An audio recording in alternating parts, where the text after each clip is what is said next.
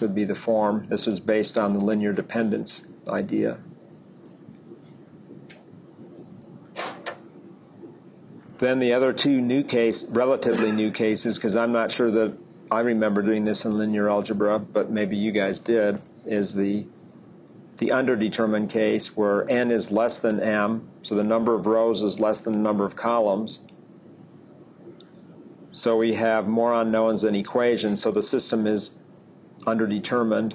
Then the solution you can go after is what's called the minimum norm solution. You're going to be able to find a solution, but you want to constrain it in such a way that it has this minimum norm property. It's it's got it minimizes the length of the solution vector x such that ax equals b. Well, assuming that the rank of A is n, now you have to think, does that make sense? We had n rows and m columns.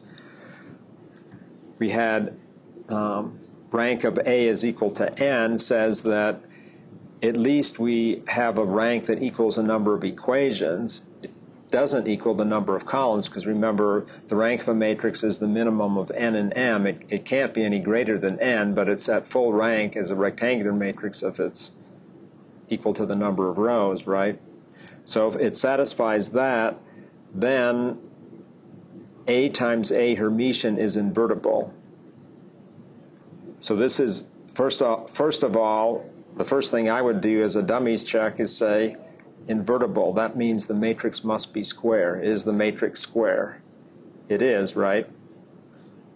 Because I'm going to go a is n by m, and A Hermitian is m by n, so it's compatible, and we end up with an n by n matrix.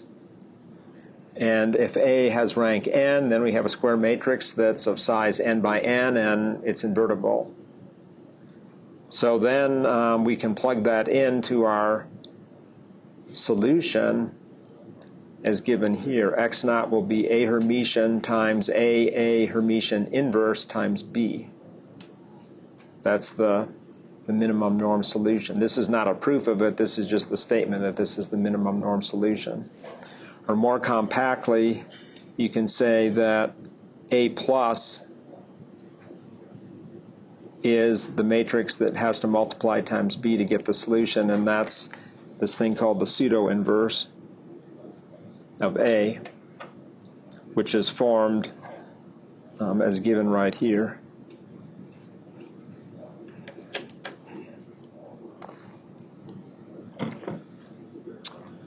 Switching this around and having the system overdetermined play the same sort of a setup, only now when it's overdetermined, we have an abundance of equations and not and we have a limited number of unknowns, so we have more options to go with.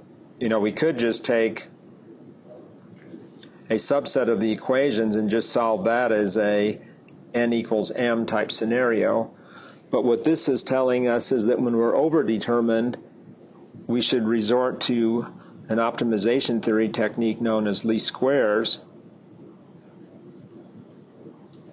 I do that better.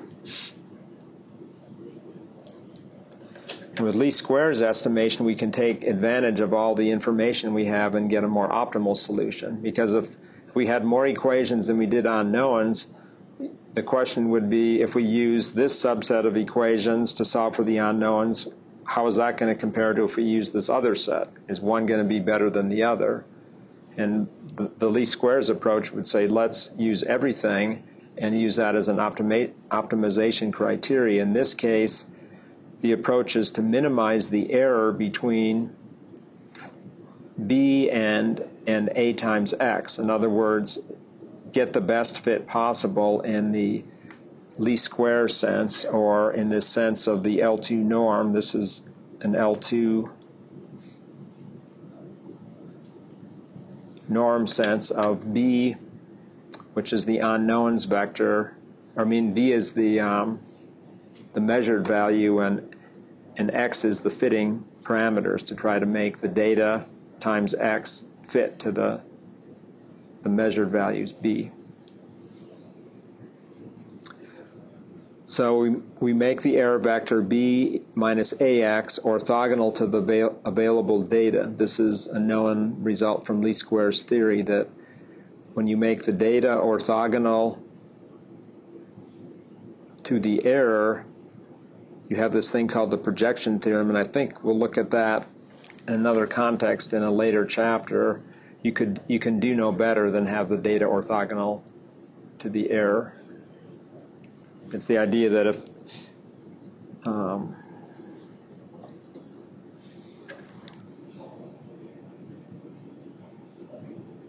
I'm not sure that I can draw this picture correctly, but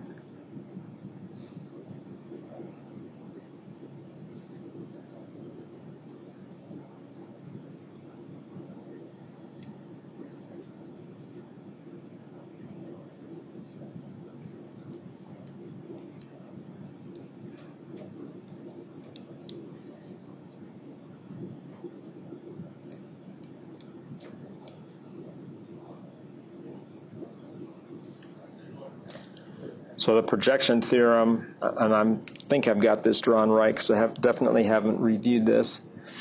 Um, by making that error vector, which is connecting this thing up here down to here, orthogonal to the data space, you've minimized the error. There's no other um, solution that's going to have a smaller error when it's orthogonal in that sense the data space are your observations, which is all of the data which is contained um, in the matrix A.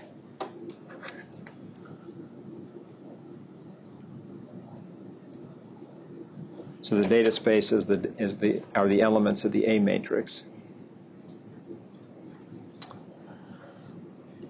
So when that's solved for, um, the equation becomes A Hermitian times the error is equal to A Hermitian times B minus A x naught, where that's the optimal um, least square solution. Set that equal to zero. In other words, make the data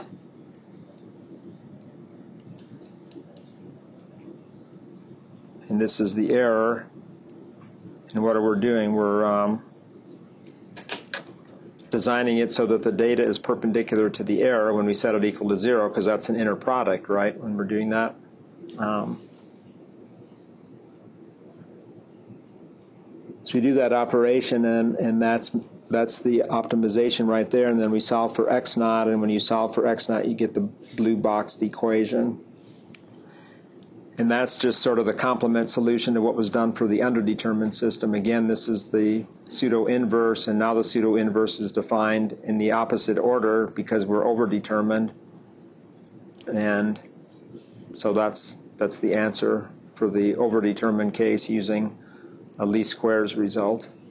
And I don't remember in the homework whether it's the over or the under determined. If you've worked the problems already or looked at them, it's one or the other. I don't think you, there was one of each out of the book. Anybody study it yet?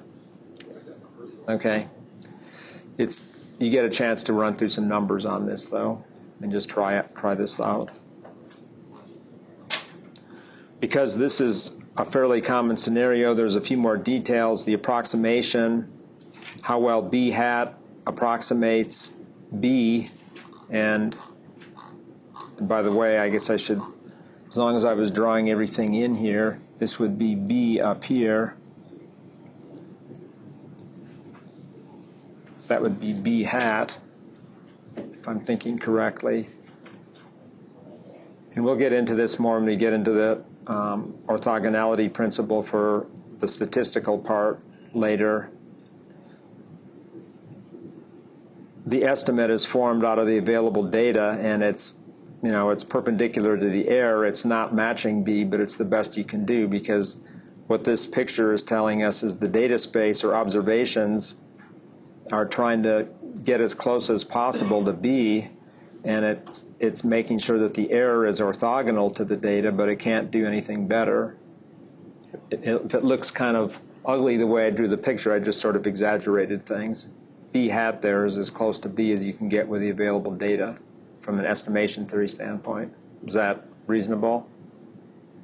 I mean, you want to get more data, but who's to say that the data, more data you might observe in the system will get you any closer?